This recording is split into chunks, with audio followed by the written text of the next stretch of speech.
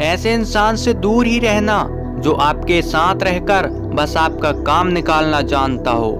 अब तो भरोसा से भी भरोसा उठ गया है, क्योंकि जिस पर सबसे ज़्यादा भरोसा था, उसको भी भरोसा तोड़ते देखा है।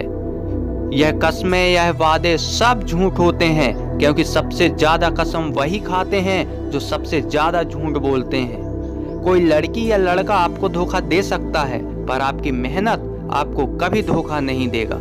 आप ऐसे शख्स को चुने जो आपको प्यार करता हो, ना ही आप उससे प्यार करते हो। आप ज़्यादा खुश रहोगे। किसी के लिए हमेशा अवेलेबल मत रहो, नहीं तो लोग आपको फालतू समझने लगते हैं। अपनी कमजोरियों को किसी को मत बताना, नहीं तो लोग इसका फ़ायदा उठा लेंगे।